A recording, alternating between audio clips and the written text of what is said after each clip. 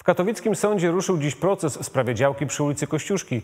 Chodzi o spór pomiędzy spółką Holdimex a właścicielem plantacji borówek. Dwa lata temu ten ostatni złożył wniosek o zasiedzenie terenu, który deweloper kupił w 1992 roku od miasta Katowice. Plantator twierdzi jednak, że teren należy do jego rodziny od 1956 roku i odziedziczył go po dziadku. Fatima Orlińska.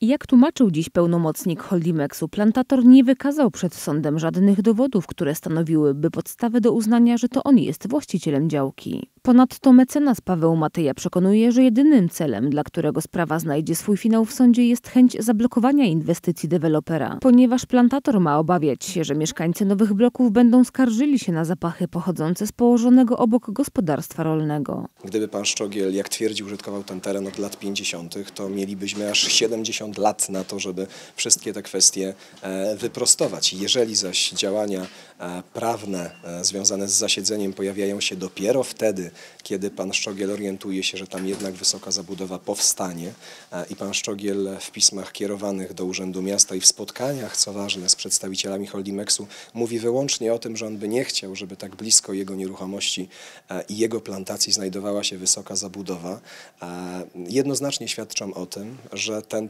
nigdy nie był w jego posiadaniu, a on nie uważał się za jego właściciela. Od 2021 roku na terenie spornej nieruchomości rozpoczęły się przygotowania pod inwestycje, jak na przykład prace geodezyjne. Podczas pierwszej rozprawy w piątek przesłuchano czterech świadków, kolejni zostaną przesłuchani na następnym terminie. Pełnomocnik plantatora borówek dziś nie chciał komentować sprawy. Powiedział, że z komentarzem poczeka do zakończenia procesu.